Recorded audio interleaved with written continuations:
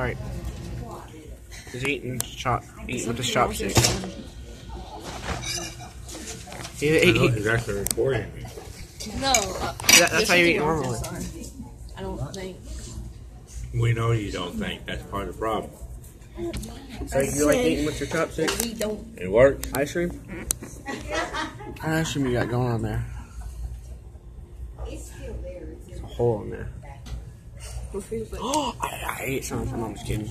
Let me get your ice cream back. Is it really working? Jay, hey, hey, you, you No, hear me? if you're imagining the ice cream on here and going into my mouth. I'm gonna put this on. Joe, Joe, You're let, a me put, figment of your imagination. let me put it on. You got Facebook? Huh? You got Facebook? I don't know what I got. Do you have Facebook? I don't know. He has a Facebook account, but he's not been on it in 47 years. For real? In 47 years?